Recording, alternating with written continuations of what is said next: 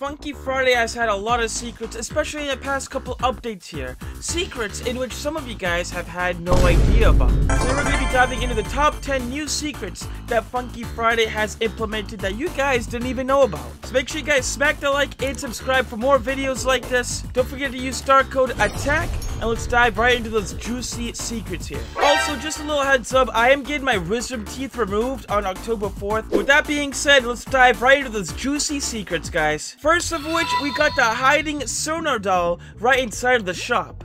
So if we go right by Bum, we can see right behind Bum, he has a doll hiding right next to him on top of a pole. Now you guys have probably seen this doll before. It's actually called the Fumo, in which it's a stuffed doll from the Touhou Project series. And this character in particular is otherwise known as Cirno. You guys have probably seen the poster on top of the wall on the side of the Miko Boga restaurant. It's the same character, but in doll form. Now, I'm not sure exactly when they decided to add this in, but I just noticed this as part of the latest update here, so they probably added this in pretty recently here. And honestly, it could be a hint of some sorts of what's to come in the future. Maybe they might be adding in some more Touhou songs in the future. I'm not exactly sure what this signifies, but it is a pretty cool secret nonetheless. Number two, we got another pretty big secret here, and that's going to be the glowing Miku poster behind the welcome board. Some of you guys actually pointed this out on my latest live stream last night, and I was generally shocked when I first saw this. But yeah, if we go behind the welcome board, we can actually see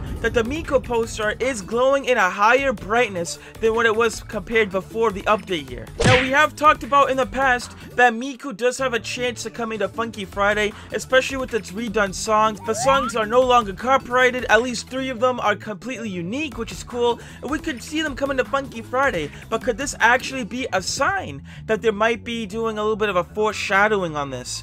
That could be a possibility. Because it was not glowing like this before this update. It happened during this update right here, which is pretty insane. A lot of you guys didn't even know about it too, which is pretty cool. So, I'm glad you guys pointed this one out. Number three, we do have the new Zardy map secrets as well. We got a lot of secrets in this one, so I guess you can count this as like 10 secrets to one, honestly. But if you look around the Zardy map, we can see a bunch of hidden cameos within the map, within the corn stalks as well, such as a green imposter towards the right side of the stage. We also got Java Coded and Lego hiding behind the stage, Tricky hiding in the back left corner of the stage as well, right behind the corn stalks right there. We got a miniature Witty hugging an ear corn right behind the stage as well. The red imposter is chilling towards the right side of the field. We got the black imposter with the traffic cone towards the front of the stage.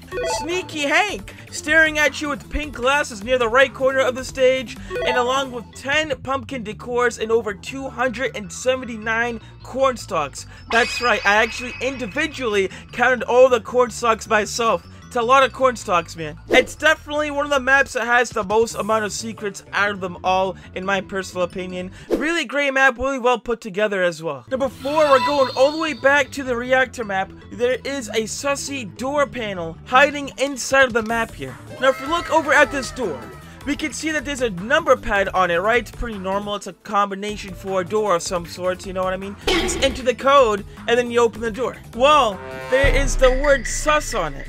How can you write a word sus on it when you only have number pads, right? You only can only use numbers here. Maybe you can use a combination of 545, and that counts as sus as well, right?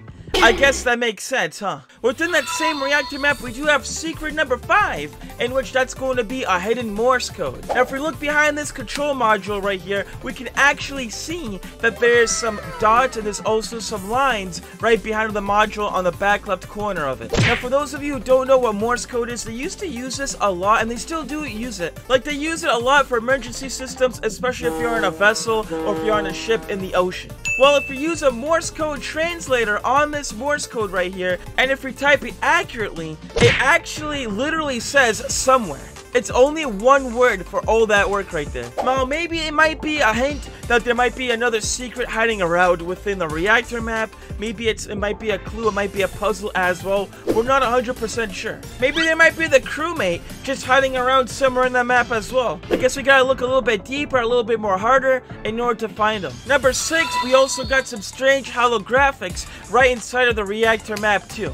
If you look on the computer screens on the map, we can see some pretty strange holographics and some pretty strange programs being brought up here. One example of which is 9 nine 10, plus 10? equaling 21, you stupid! 21? That's a pretty sussy sign right there, man. That's kind of funny, honestly. It reminds me of the meme of that lady trying to solve a math equation. It kind of reminds me of that. Also, there's a drawing of a crewmate saying sus and to get out of Nevada.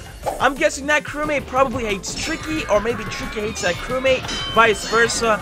You know that something's going on between that crewmate and Tricky, especially if he's telling you to get out of Nevada. Number seven, we got the emergency meeting here from Among Us. Now this little secret contains a bunch of cameos featuring several developers and also the creator of the map as well here. First of which we got Lego who was dressed up as a purple cop, Java Coded's old cheesy avatar, Java's new drippy avatar in which I do prefer the cheesy one by the way. I think the cheesy one fits him a lot better to be honest. And we also got the creator of the map as well, Vern. He's dressed up as an archer or an elf. And he's also labeled as the imposter too, so maybe they're trying to vote him out out of the game here because he is looking pretty sus, especially with that imposter title right above his head right there.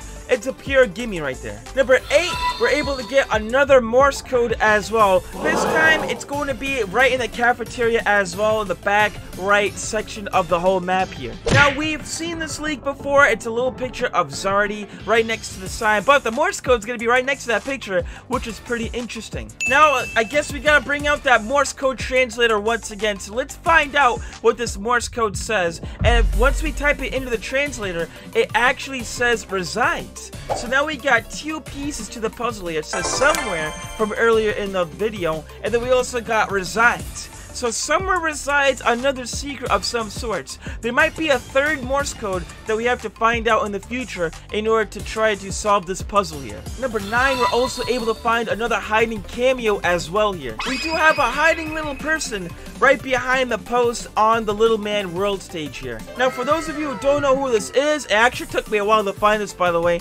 This is actually Touch Event. He is one of the animators and he's also one of the contributors for Funky Friday. He's the one who made the Tordbot animation, for example here. And some of you guys have probably noticed him from my TikTok video that we did with him a while ago, in which he was able to use his giant Tordbot animation.